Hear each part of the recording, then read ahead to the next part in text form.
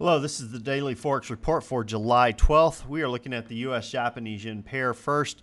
This pair closed lower today, have moved pretty high, but did close lower. We are looking for it to continue overall moving sideways with a bias that is sideways. Look for it to potentially go as high as 89.60, possibly as low as 87.84. Look for some resistance around 89.15 and look for some support around 88.25. Now let's take a look at the Euro USD pair. This pair moved lower today. We are looking for this pair to continue moving sideways. Uh, look for it to potentially go as high as 127.14, possibly as low as 124.64. Look for some resistance around 126.50 and look for some support around 125.50. Now the pound US dollar pair moved lower, uh, didn't close below our trend line uh, it came close or right at it pretty much. I guess it did close a little bit below it, depending on which trend line you look at and how far back you go. Uh, still looking for this pair to uh, continue moving sideways. Uh, I do anticipate it moving a little bit lower this next session and then get a reversal.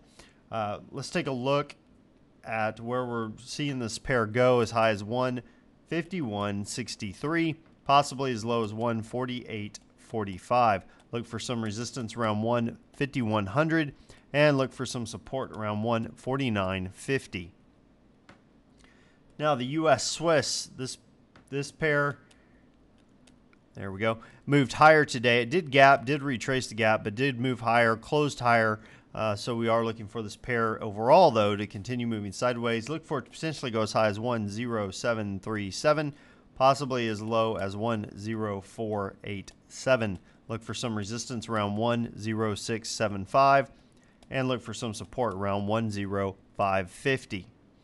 Now, as far as news announcements go, we have the uh, pound releasing the, the CPI for June at 4:30 a.m. Eastern Time. Consensus on that is that it has dropped from 3.4% down to 3.1%.